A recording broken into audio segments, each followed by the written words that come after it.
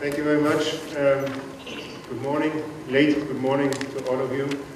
Um, I'm happy to be here and uh, uh, first time, first time in Myanmar and uh, it was overdue. And I met a lot of very nice people already. Uh, people tend to smile here. This is something we can learn in Germany. Uh, you know, so uh, thank you for the organizers to invite me here. It's, it's a pleasure. Uh, now, palm oil, the leader in the global oils and fats supply. I, am talking to you today about a success story. The success story of palm oil. And, and why is that? Why has palm oil production, palm oil exports increased so sharply? And uh, what are the reasons behind uh, the, the fact that uh, palm oil today is used almost in every country, all over the place. And the world without palm oil would be a much different world. Uh, palm oil still has problems in partly in its image, and of course the fires and the haze is not helping very much at the moment. Uh, but there are some very strong basic factors behind the strong growth in palm, in palm oil production. And, and here,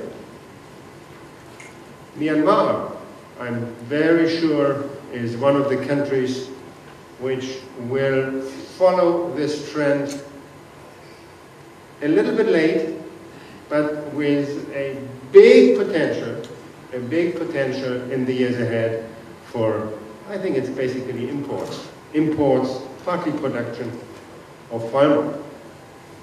Now, uh, um, first of all, who is Oil World? Now, we are following the market of oils and fats since 1958. We are generating the global import, export, production statistics. We are, we are, we have built statistics on crushings for all countries in the world. Uh, so we are in a way leaders in uh, providing basic fundamental statistics. And, and everything I'm going to present today are of course our data, our global data. Uh, we are independent, we are not keeping any positions in the market, nor do we have any physical ownership in the commodity, so we are totally independent. Uh, I try to cover, cover the, uh, not only the palm oil fundamentals, but also the complete market. How is palm oil positioning itself in the global market of oils and fats.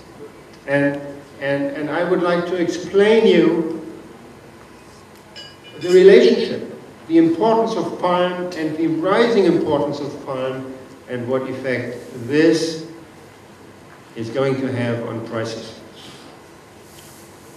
And, and of course, uh, I would be happy uh, to answer any questions you, you may have.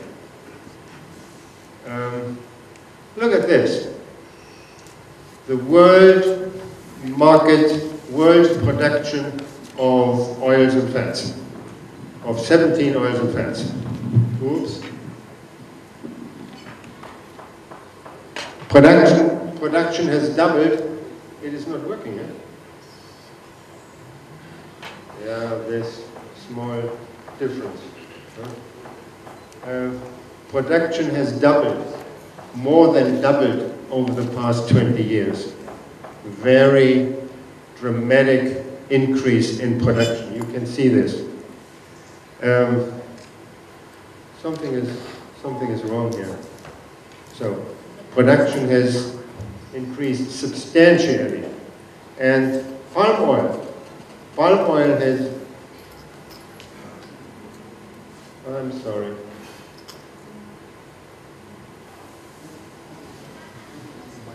Um, and palm oil has increased its market share to now 30%. Palm oil is the most dynamically growing oil in the market, followed by soybean oil and rapeseed oil.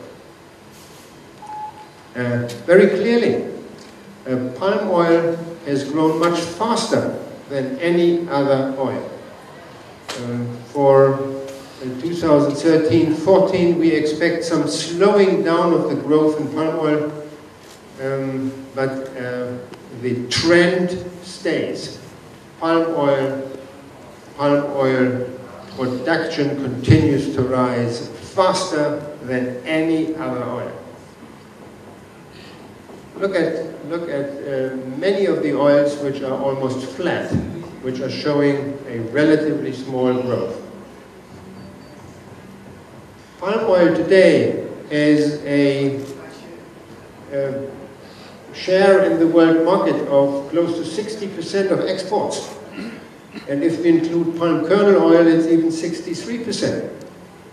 And it has a share of 30% in world production. Now we have to understand palm oil is, is, is one of the 17 oils and fats. Uh, and palm oil is in competition with seed oils. Uh, soybean oil, sunflower oil, rapeseed oil, which are derived from oil seeds.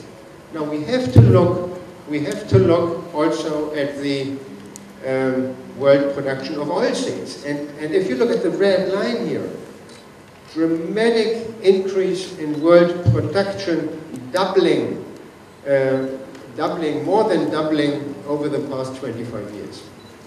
Now, of course, the question is, can the world continue to provide these large quantities of oilseeds and vegetable oils in the years ahead? And it's a question of acreage. Um, land prices in many countries have doubled or tripled. Um, this has made production costs higher. This is one of the reasons for the higher price level we have. Still, the question is, can we continue on this path? Can we provide, can we continue to provide the quantities the world market needs, additional quantities every year again? Now we have had two years of significant shortage, significant shortage, shortage in oilseeds, primarily in soybeans. And here, palm oil came in, and palm oil was able to fill the supply gap created by soybean oil, for example. Uh, you see, soybeans are the most important, oil seed, 57%, rapeseed, sunflower seed are the other dynamic seeds. Um, um, but it's, you know, mainly these three seeds we have to look at.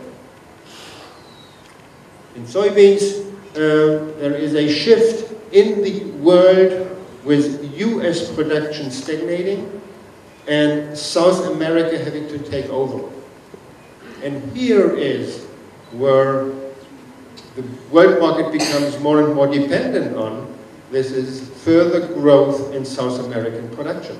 Now you have a, you have a government in Argentina which is not at all supportive to the farmers. I mean, um, I mean, it's the worst with an export tax, export tax, yeah, of 35% in soybeans and with a with an official currency which is less than half of the black market rate or the, of the real rate. So which is of course in, in, in uh, disfavor of the farmers. So you have developments now in Argentina where leased land contracts have been cancelled because big investment companies have started to go out of Argentina because of this unfortunate political environment, which you cannot change. Uh, beef producers are already chased out of the country, uh, and similar things could happen to the crushing industry. going, partly going to Paraguay, Uruguay, um, or other countries. And as far as land lease contracts are concerned, as much as one million hectares have just been cancelled because of the unprofitable situation for farmers at the moment with a combination of declining prices and um, unfair government treatment.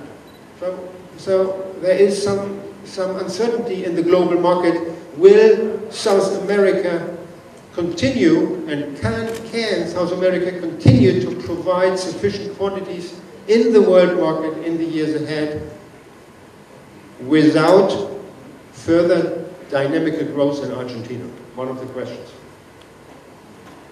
Um, and, and here I want to show you uh, what palm oil did in the past two years. Look at the, um, do we have a pointer here somewhere? One of them should be a pointer, right? Is this? But if I, oh yeah, that's fine. Um, look here at the, look here at the uh, palm oil increase. Palm oil production increased by three and a half million tons in the current season 12-13, while all the other oils um, declined. Production of all the other oils declined by almost 2 million tons. So palm oil saved the world in a way during the past 12 months. And this is actually what you can see in the, in, in, in the exports. Exports from Malaysia and Indonesia and South American countries, they're just exploding by 15, 16, 17 percent uh, over the past six months. And as a result of that, the burdensome palm oil stocks, which, which were still available in November, December last year, which reduced palm oil prices so much, these large stocks have been reduced by close to 2 million tons in Malaysia and Indonesia combined. This has helped, this has helped to stabilize the palm oil prices while soybean oil prices continue to decline. So, so the message here is palm oil filled the gap created by insufficient production of other oils, of seed oils, mainly of soybean oil, over the past 12 to 15 months. Oilseed production is now getting more ample. Very briefly, very briefly, um, with um, global production in uh, 13, 14 up 21 million tons. World supplies of oilseeds are likely to rise by 27 million tons so uh, if weather cooperates, we think that the price outlook is bearish. Prices should move downward, mainly in the oilseeds and the oil meals, to a very small extent in the vegetable oils. Um, and I will come to this later. Uh, there is one major exception, and I want to point to this. This is the annual increases which we estimate for the oilseed production of the individual uh, countries. US, 8 million ton increase, uh, but China, Chinese production of oilseeds will continue to decline. China, a country uh, with declining oilseed and grain area and declining oilseed production. Um, and the result of that is, of course, that China becomes the world leader, the world leader in oilseed and vegetable oil imports. Tremendous. And, you know, on top of this 62 million tons, uh, we are expecting another 8 to 10 million ton increase in Chinese imports in the next 12 months. Um, so that's really a very important factor. China has increased imports of oils and fats, mainly of palm oil, uh, from 2.5 million tons uh, 10 years ago, 12 years ago, to 11 11.2, 11.4 million tons at the moment. The development in China, uh, or a similar development, occurred in India, and India is still in the stage of improving, it's still growing. A similar trend is likely to occur here in Myanmar. Not with these volumes, because you have a smaller population, but uh, if, if we look at your capita consumption, and with the government, if the government continues to open, you should see a considerable increase in vegetable oil and I guess primarily palm oil imports and I don't think that we have to wait long until you are importing 800,000 to a million tons a year uh, of vegetable oils because you need it and your population needs it and I guess it's available. Um, very briefly, uh, how is the world market looking like? And uh, the driver always is the consumption side, the consumption. And, and I've looked, we have looked at the production. The production have more, has more than doubled over the past uh, uh, 20 years. And we get one explanation here on this slide. The combination of rising food demand, primarily in Asia, and rising biodiesel production in the Western countries, primarily Europe, South America, and the US, this combination of the two, food and fuel, has doubled the annual growth rates in world consumption of oils and fats. And this is the red, uh, this is the blue part of, this, of the slide. Um, the demand growth was as high as 63 million tons over the past 10 years. And 6.3 million tons on, on average per year. We needed more acres, considerably more acres, and higher yields to fulfill this. Um, that was a driving factor, and this was a major reason for the higher price level we have seen in the past five years. Now there is a big change, and, and, and the big change which started in middle of 2012 is to be seen in a slowing down of the growth in the energy market, primarily in Europe. This is a major change. So we can say that the dynamics in the energy market is largely lost. We may stabilize, but I don't see much increase in European biodiesel consumption over the past few years, contrary to expectations. So this loss of growth in the European biodiesel market has an impact on the vegetable oil market and on the total complex, oils, oil meals, oil seeds. So the oil values are getting a little bit lower and the meal value is higher because uh, of the relative weakening of the oil demand, of the vegetable oil demand. This was one of the reasons why palm oil prices and other vegetable oil prices were relatively weak over the past 12 months, contrary to oil meals. And it's a, it's a scenario which I think will stay also next year. Um, so most of the growth is for food, and we see some acceleration in food demand in palm and also in soya, with prices having become more attractive for the consumer. There is some pent-up demand. Um, here you see in green the portion of the portion of uh, energy demand. This seems to be small, but it is not small. It is 22 million tons. 22 million tons every year at the moment go into the energy market. This is really a lot, and this has moved prices. But the growth potential has deteriorated.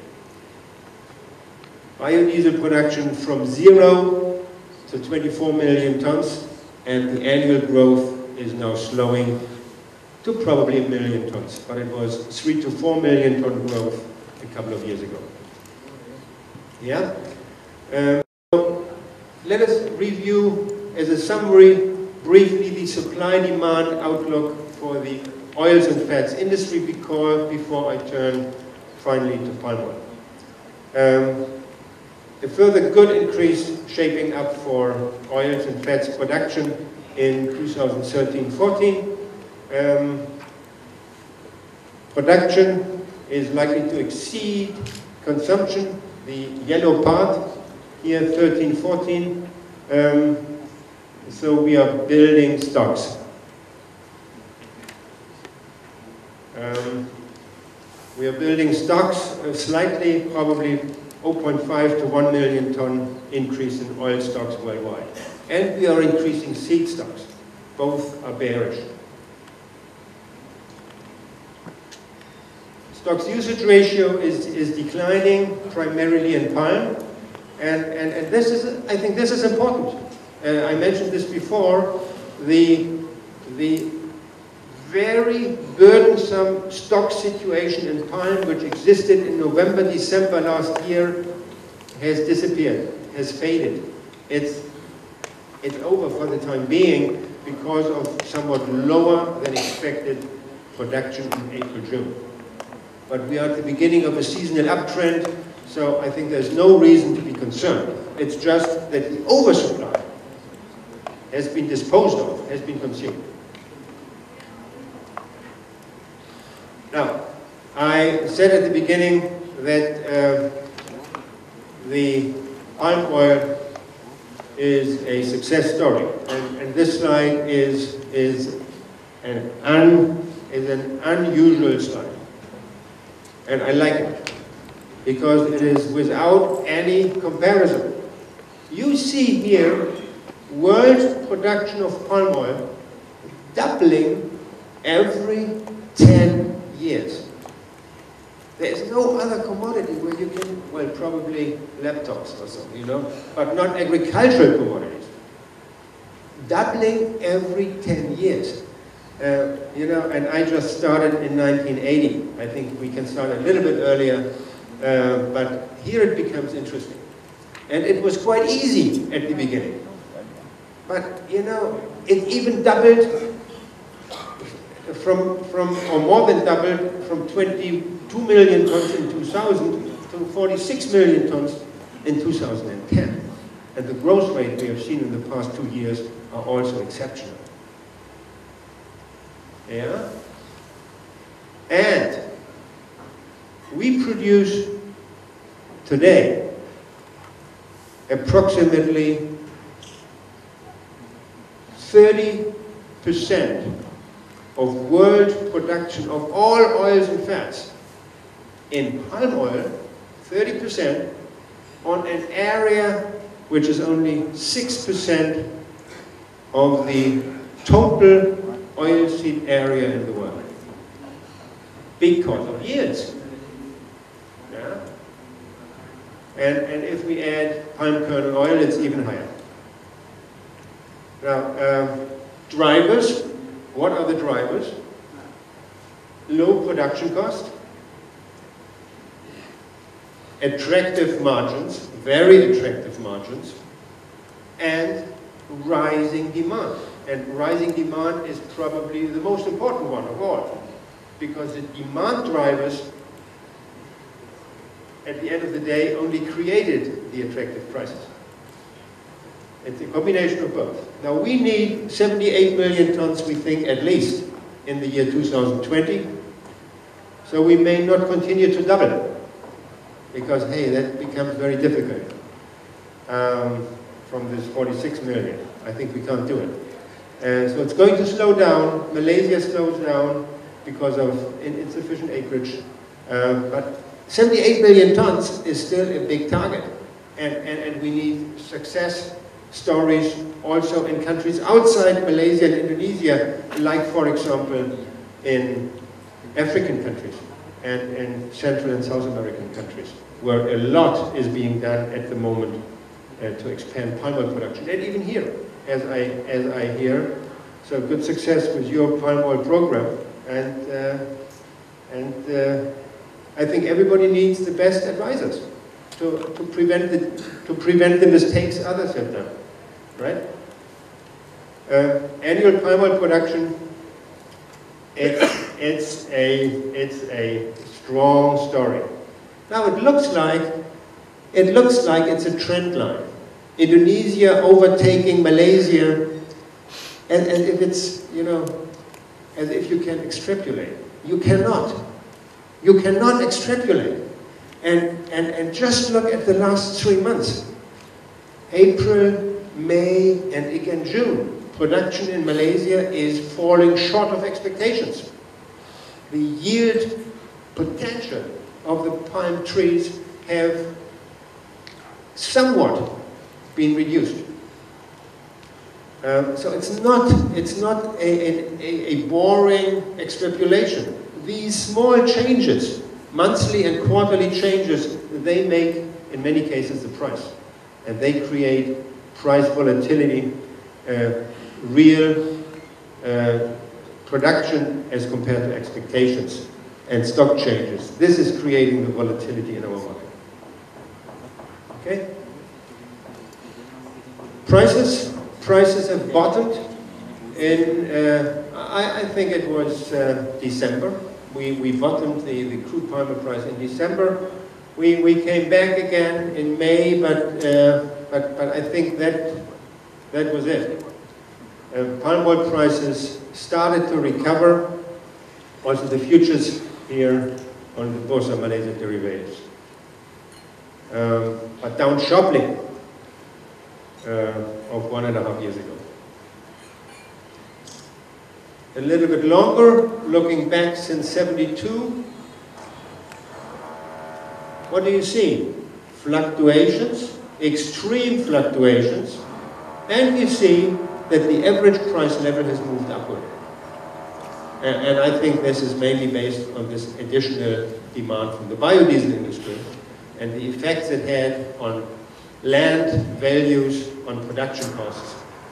Prices will stay higher because production costs today are considerably higher than they were 10 years ago. Considerably higher.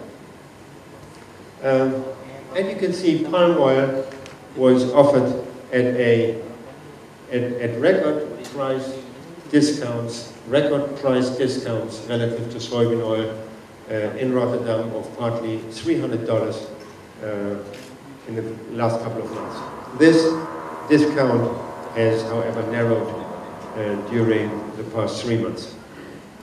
Um, palm oil has to be also seen in relation to the energy crisis, and uh, in November, December, January, palm oil prices were at the price of Brent oil in Europe um, and, and this explains why we in Europe have considerably increased palm oil consumption during October, March.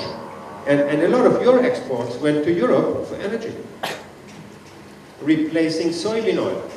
So we have this typical mix in Europe now, rapeseed oil and palm oil, and very little or no soybean oil.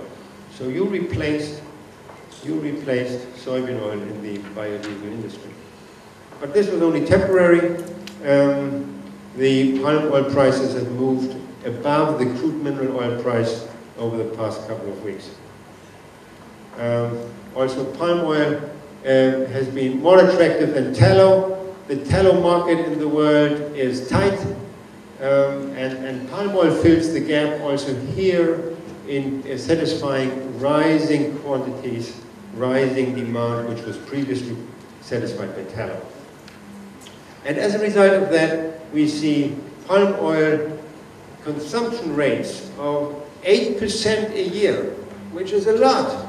8% a year, um, probably falling back slightly in the next 12 months with the higher supplies of seed oils becoming available.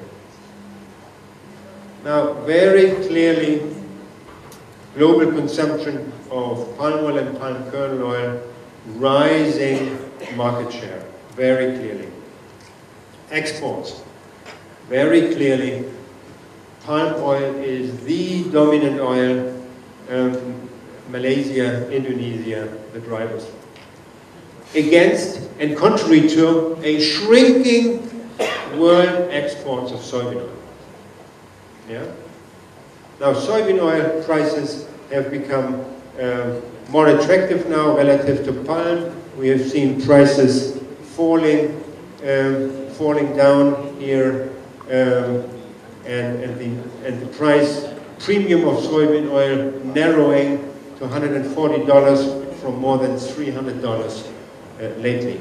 Argentina is now in the market with, with uh, rising quantities, partly due to insufficient or reduced biodiesel production. So there's more coming from Argentina. Now, uh, look at this slide. It's palm oil, palm oil, palm oil. It's the dominant oil. And this is very, very likely to continue. The global dependence on palm oil is going to rise. Uh, the competitors, soybean rape and sunflower oil combined, they show very little growth. They cannot satisfy rising world demand. It's only palm oil. Therefore, your choice, your choice, and the choice of most consumers is palm oil because of availability and because of price. Um, the other oils, supplies of other oils are insufficient. Now we do have, in the world market, we have only, basically, we only have two suppliers when it comes to oils and fats export. This is a little bit risky. This is a little bit risky for a consumer.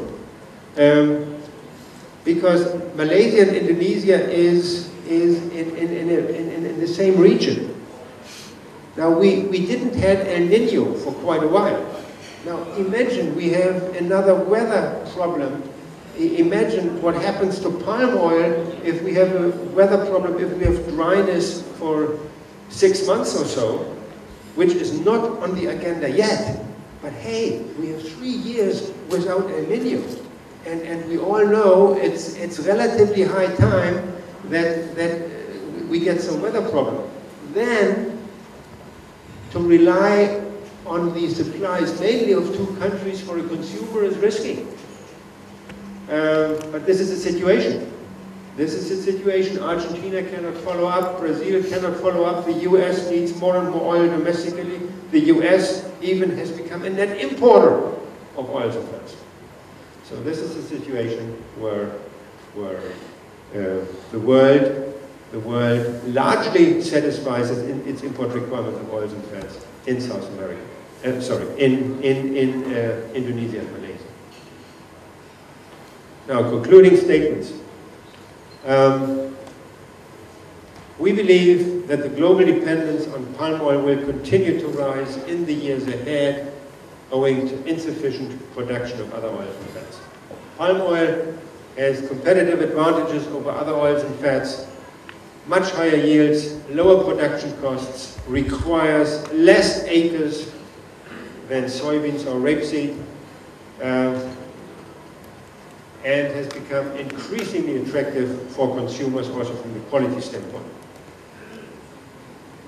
Palm oil is generally priced at quite a sizable discount versus other oils, whether the producers like it or not. The palm oil producers, this has been the fact most of the time, and this makes sure that you get your market share and that, uh, that uh, the availabilities are being consumed.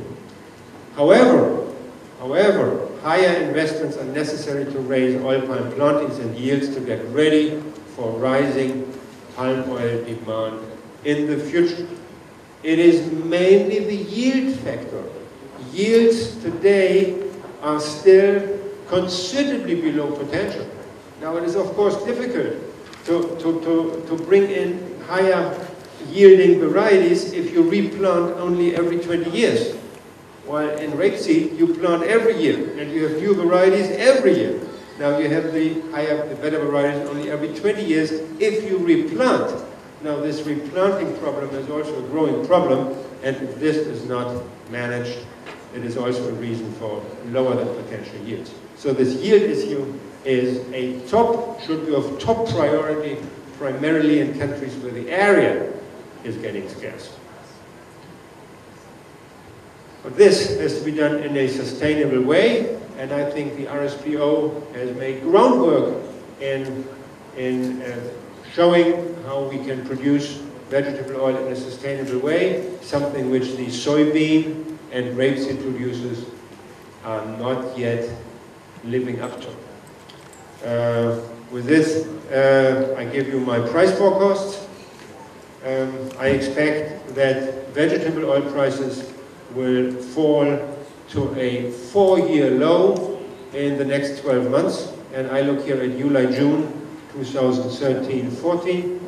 Um, you know, uh, after, after peaking here, um, and again peaking in 2010-11, uh, we think the trend is still downward, um, probably until October, November.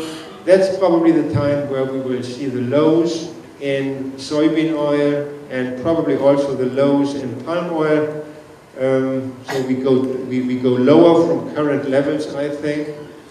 Um, but for the whole season, only a relatively small decline in palm oil, um, but a quite considerable decline in uh, Argentine soybean oil to $980.